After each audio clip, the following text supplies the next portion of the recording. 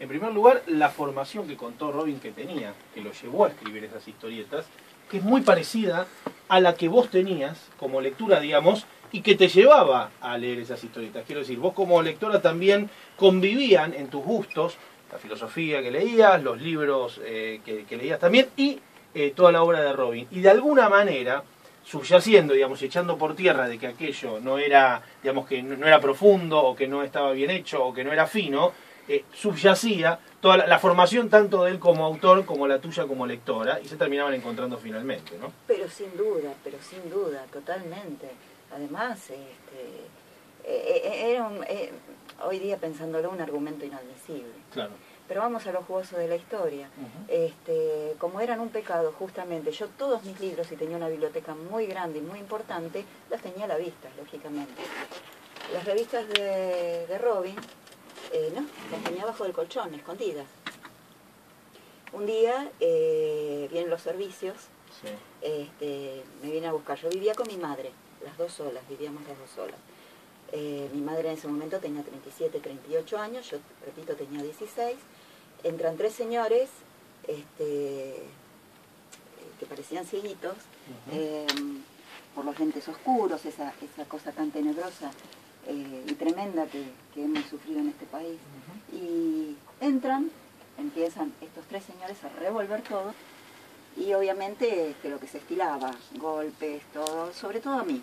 A mi madre la corrieron, a mí yo tenía el pelo muy largo, me zamarrearon, me tiraron, me estufaron, me entraron a preguntar este, hacía, qué me dedicaba. Todo esto por, militar, digo. Eh, militar en el Partido Comunista significaba, en los años de la dictadura, estar solo o eh, poder llegar a vivir un escenario como el que estás contando, digamos. El, mero hecho de militar, nada más. Por supuesto, eh, además era una práctica común en ese momento. Este, esto de la represión, digo, ¿no? bueno, preguntarme y empezar a mirar los libros, ¿no? Todos los libros que yo tenía. les les parecía raro de repente encontrar dentro de, la, de, esta, de esta lectura mi lucha ¿no? de Hitler, entonces como que los desorientaba un poco. Y bueno, seguían los golpes, seguía la agresión, seguía... Este, la pregunta, el interrogatorio. El interrogatorio, eh, obviamente, violento, muy violento, este, y, y cuando levantan el colchón de donde yo dormía, encuentran todo el reguero de revistas encuentran todo, todo, todo, y empiezan a agarrar y a revisarlas, ¿no? no como, como diciendo, acá hay algo escondido adentro. Exactamente, a revisar, a revisar, a revisar, a revisar. Entonces uno, mientras revisa, mira, y era una historieta de Robin. Era, era Gilgamesh. Eh, empieza y se queda. El otro sigue revisando, revisando, revisando. Agarra otra, se queda. Denis. Denis Martin. Se queda, se queda. Eh, el primero se queda y empieza a leer, empieza a leer, interesado, muy interesado. A tal punto se interesa que se sienta en un silloncito y ya directamente empieza a disfrutar, se cruza de pierna, se olvida. El otro no, sigue revisando, sigue el tercero, digamos, sigue revisando. Obviamente los golpes habían cesado, Samarreo había cesado. Están enfrascados los dos. El otro sigue de pie. Sigue, sigue, sigue, sigue. Cesó todo, se paró todo. Se paró todo, se paró absolutamente todo. Estaban, estaban embelesados con tu lectura, Ron. Estaban embelesados. Eh, ¿Y cuántas veces contaste esta historia? ¿Cuántas veces dijiste que en realidad eh, una situación tan estresante, tan traumática se cortó porque apareció algo que a vos te fascinaba, apareció algo que, que te conmovía y que terminó salvándote de alguna manera o llevando todo, toda la violencia a otro lugar? Eh, mira, fue tan, fue tan fuerte y tan duro que hoy con 52 años me di cuenta eh, que tan pocas veces la conté, ¿no? Porque fue muy duro, muy triste y, y, y la conté muy pocas veces. Igual la suficiente como para que para que hubiera registro de esto, ¿no? Sobre todo en el último tiempo creo que fue cuanto más veces la conté. Bueno, eh, acá está Robin escuchando tu historia por primera vez. No, no, no sé si alguna vez pensaste si la vas a poder contar a él. No, no, no, no. No, no, siempre me acuerdo en ese momento, eh, cuando los veo a ellos congelados, como, como en, o sea, los recuerdo la imagen como en una película, ¿no? Donde, donde queda todo congelado. Y el que rompe este clima, que yo no recuerdo cuánto habrá, para mí fue interminable, pero seguramente habrá durado pocos minutos.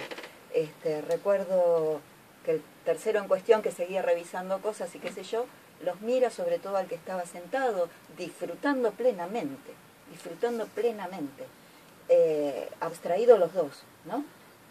Se enoja, dice, bueno, bueno, basta, nos equivocamos, se terminó. El que estaba sentado levanta la vista, dice, sí, nos equivocamos, enrosca la revista, se la lleva. Y se la llevó. Y se la llevó. El otro no, deja, nos dejaron, nos dejaron, o sea, dieron vuelta, se fueron como si nada dejando. Y yo realmente en ese momento, eh, en ese momento fui consciente, ¿no? no necesité tiempo, no necesité vivir la situación en, retrospectiva. En ese momento me di cuenta, porque yo era fanática, pero yo, yo te amaba, Robin. Yo te amaba. Me di cuenta, Robin me salvó. Pensé eso en ese momento. Robin salvó mi vida. Y lo pensé, obviamente, con el tiempo lo seguí pensando. Y este momento, Robin, para mí... Me imagino. Vos estabas escuchando el programa ahora en tu casa, en Vicente López, y viniste corriendo cuando viste que estaba acá. Obviamente. Bueno, la verdad, muchísimas gracias por, por haber elegido, por haber venido a contárselo acá, porque es espectacular la historia. Robin, no, no sé si alguna vez te, te contaron algo así con, con, tu material que haya sucedido. He afectado vidas, pero afectado es una cosa, es así como la marca que es un pájaro. Claro. Pero lo que vos me contás ahora me, me maravilla. Gracias, Robin. Me, no sé, no sé, estoy así en un poco en trance yo también. Es el mejor regalo que he tenido en mi vida. Bueno, qué, qué, qué cosa increíble. Estamos hablando de un, de un, autor que ha vivido tanto, digamos, qué, qué momento espectacular. Mónica, mira lo que, lo que te contesta Robin, no tanto tiempo después.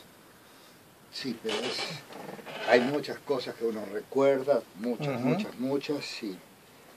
Pero hay otras cosas que se sienten. No es para recordarlo, sino que uno lo, lo va a llevar por siempre.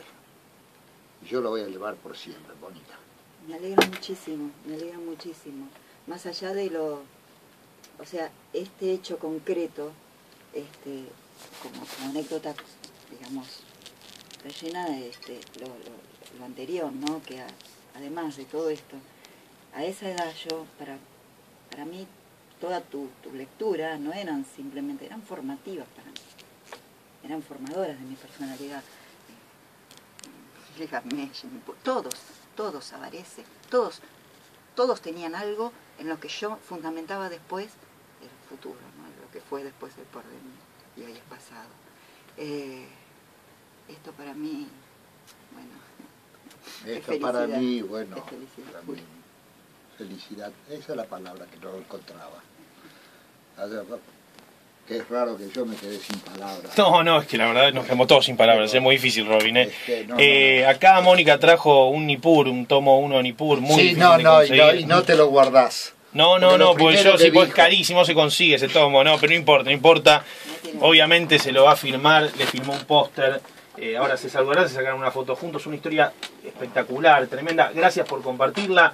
Eh, nosotros, digo, no podíamos dejarla pasar porque cuando los chicos me contaron un poco lo que había sucedido, eh, sentimos que era un momento que, que, Robin se merecía escuchar esta historia y compartirla con los oyentes, poder disfrutar esto y ver cómo se encuentra un lector y un autor eh, conmueve muchísimo. Muchas gracias, Mónica. Eh, no, muchas gracias. Por, haber, dos personas que en un momento dado han cruzado su vida. Ella tiene un recuerdo agridulce, yo tengo, cuando ya creía haber superado todas las, con la pedantería de todo ser humano, ya he visto todo, ahora descubro que no he visto nada hasta ahora con esto. Esto es, olvídate del escritor, olvídate de todo, olvídate de... Simplemente esto es... Es un milagro. Bueno, Hermoso, vamos a eh, parar un segundo porque si no, no, no, no, puedo continuar. Te ponemos una tanda y cuando volvamos, como podamos más, cómo robar el mundo. Muchas gracias. Muy lindo, muchas gracias. De verdad. No, gracias a ustedes. No, por favor. La historia me encantó.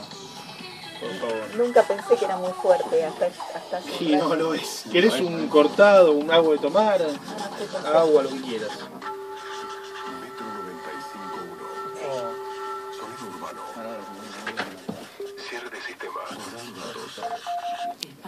Publicitario. Selection. By DJ Paul. Dos horas. Una selección de la mejor música. Selections. By DJ Paul. Bueno, gracias por escuchar el programa. A la medianoche. Sonido.metro951.com. No, no, no hay problema. Metro 95.1. Pero ¿dónde está? Sonido urbano. Muchas gracias.